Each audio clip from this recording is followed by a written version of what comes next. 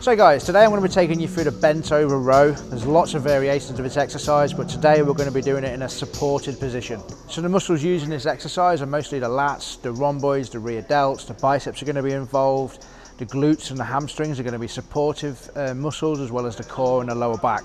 So there's quite a lot going on here, so there's quite a lot to learn. So firstly, set yourself up in a rack where the bar is just below knee position.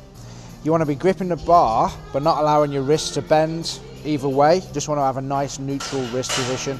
The next thing you want to be thinking about is you got your nice neutral wrist position is, is the break, almost like breaking the bar so that our lats are activated. So we're breaking the bar this way. Obviously you're not going to be able to do that, so it's going to activate certain muscles. Okay, so we're settled in position.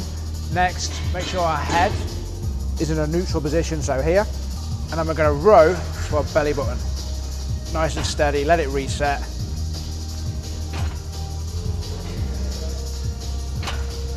And as I'm doing it, I'm thinking about my, my elbows coming together at the top of the movement.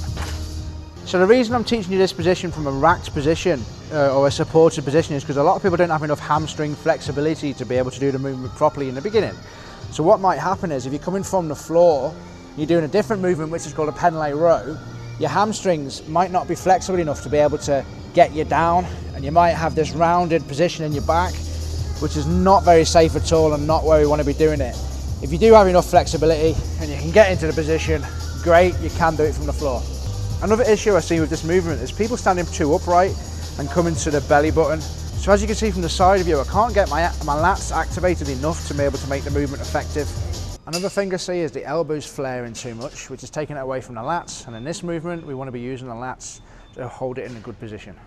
So another thing I see in this is the weight being too much and the back beginning to arch. And that's, that's not a good position to be pulling from. Another thing I see with this movement is people using too much body momentum and to try and pull the weight up. And that's not using your, your lats as much, as much as it would if you were in a strict position. So what I'm actually teaching here is a hypertrophy movement of the lats mainly. So we want to keep everything nice and strict and not put any too much emphasis into a power movement. So I'm standing, I'm strict, I'm squeezing the lats together, I'm resetting, I'm coming together, okay? And that is how to do a low row.